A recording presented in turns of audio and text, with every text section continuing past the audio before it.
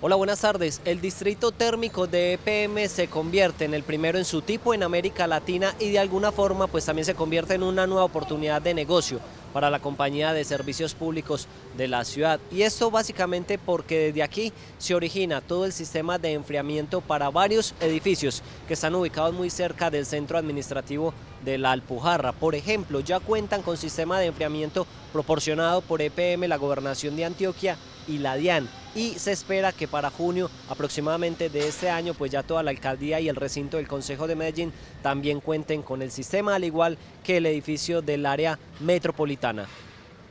Los equipos de generadores de agua producen agua helada, la cual es bombeada hacia cada uno de los edificios clientes.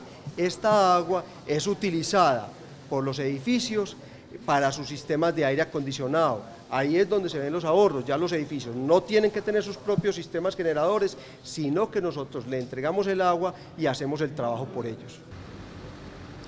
El distrito térmico de EPM está ubicado sobre la carrera Carabobo y hace parte de toda una renovación urbana que se piensa para la ciudad aquí, en esta zona, en el mediano y largo plazo, de toda la renovación del centro cívico. Hoy hay que decir que la zona básicamente está compuesta por eh, actividades comerciales e industriales, pero se proyecta que en los próximos años aquí se desarrollen algunos proyectos urbanísticos de vivienda.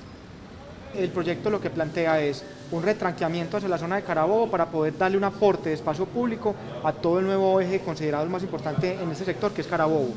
Y otro tema importante es ver el proyecto desde un ámbito no solamente técnico, sino desde un ámbito también eh, de acoplamiento al resto del entorno.